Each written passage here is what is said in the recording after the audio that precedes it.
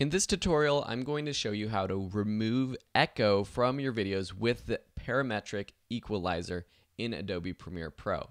So I have this clip of Will Carnahan, my buddy, teaching people food photography. So if I take this parametric equalizer effect and drop it on this entire clip, you'll see that it pops up in our audio effects and we can click edit to open up the options. This is similar to the old EQ effect in the sense that you have your frequencies on this graph and then the decibel level or the gain level on the left hand side. So if we take any of these points, we're picking a frequency and increasing or decreasing the settings. There are some preset effects or presets for getting rid of different things or for enhancing different sounds, such as acoustic guitar, rap vocals, vocal enhancer. For removing echo though, what I'm going to do is do it custom. So the way I'm actually going to find the echo and try to reduce it is to pinpoint the frequencies that are really affected by the echo. And to do that, I'm going to click on one of these points and actually increase the size or increase the loudness of it. But when I do that, it brings up the loudness of a lot of frequencies. So I'm going to adjust the width. So if I decrease or increase the width, you can see that the graph changes and I'm more pinpointing a specific frequency. So let me take this down and then play through and let's try to pinpoint where there's a problem area. You can see under the plate and the other one, it's a little bit softer. It's also a little bit darker because we didn't adjust our shutter. We're just so you can see right around here at 3000 or so, it gets to be distorted. If I go up here, it doesn't sound that distorted. Let's play through it. The shutter, take another shot. It sounds pretty normal, but down here, it's going to get really wonky. And now you can see the difference between the two. You can see they're still around the same brightness, but the light is a little bit more diffused and a little bit softer. Another thing that happens because of the Wow, that right there is horrible. So around 2655 55, we're going to actually take this and decrease it. The color temperature has changed just a little bit. Starting around negative 15.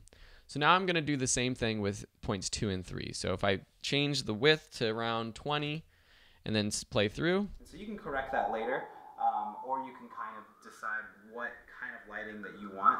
Um, I think for this one, I would probably go with the diffuse light because it just looks a little warmer. It looks a little softer, it looks a little more inviting right around there. Terrible, terrible. So we're going to take this down again.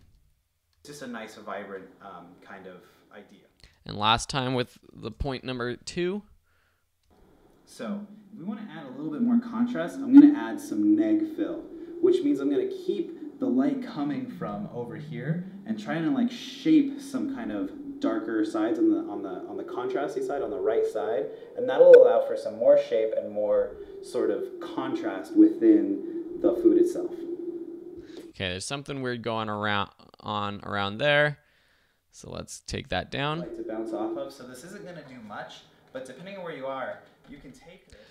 So now if we play through it and bypass it over here in the effects window and turn it on and off, we can hear what it sounds like. And get it as close as you can to the food without actually getting it in your shot.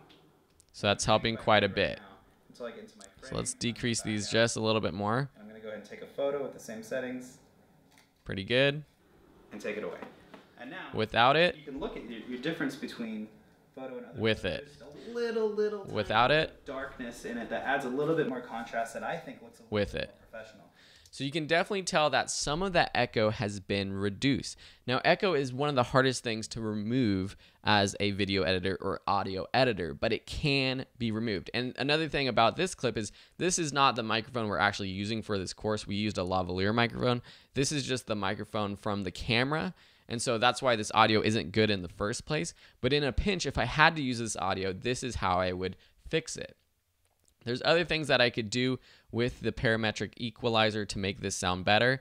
Maybe cutting out some of the lows and the highs with this low cut and high cut. So if I turn on the low cut, and if I make this, turn this up to say 100, and then I turn on the low cut with this button right here. Notice on the fork, you change the frequency to around 100. Nice dark layer of contrast and also and then same with the high cut, click this button here change this down to around 6500. It adds a little bit more shadow coming in in the background and on the napkin, which I think looks way more professional. So let's go. That helps just a little bit, and that helps get rid of some of the background noise. So that's how you actually decrease echo with the parametric equalizer. The key is to pinpoint the frequencies or the range of frequencies where there's some issues, where it's got that reflective sound that's bouncing off the walls, and then decrease those specific frequencies. So hopefully this helps you in the future with your projects. If you have any questions, let me know. Otherwise, we'll just see you in another tutorial.